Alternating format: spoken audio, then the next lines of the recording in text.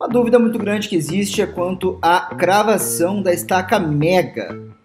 Trouxe aqui uma, umas imagens de uma obra que nós, nossa equipe, estava realizando esse trabalho de cravação de estacas mega para exemplificar para vocês. Bom, basicamente a estaca mega é um tipo de reforço de fundação, já falamos sobre ela, mostramos aqui no, em, uma, em um dos nossos vídeos diários um pouco mais sobre esse trabalho, mas o que é importante a gente entender sobre a cravação da estaca mega é que ela necessita, ela precisa de uma reação para que ela, ela seja é, executada, cravada, tecnicamente é, estar apta a descarregar as tensões, as tensões admissíveis no solo. Então, nesse caso dessa imagem, nós temos aqui uma sapata, né, que vai servir de apoio, de reação e também, é claro, essa sapata no qual pretende se reforçar, né?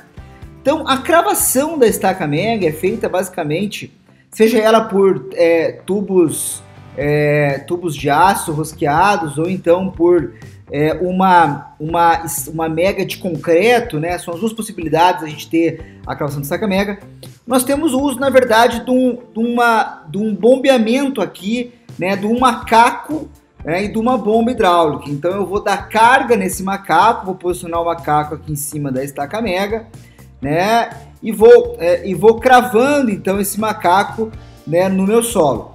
Basicamente, o primeiro processo, o processo de cravação dessa estaca mega com o macaco, tendo como reação então essa sapata ou esse bloco ou um baldrame ou alguma viga metálica que você faça para dar essa reação.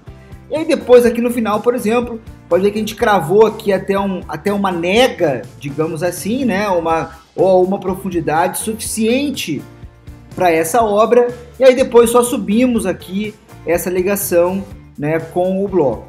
É, existem algumas maneiras de você fazer a ligação, ou um macaco mecânico, onde você possa travar, rosquear e travar, ou então colocar uma armadura né, inteira e, e, concretar inteiramente aqui esse bloco. Existem algumas outras possibilidades, né, faz lá um, né, como se fosse aqui um cálice, né, para receber essa, essa, essa estaca, também é uma possibilidade bem interessante. Legal? Bom, espero que você tenha gostado de mais um vídeo aqui do canal Fundações Sem Complicações.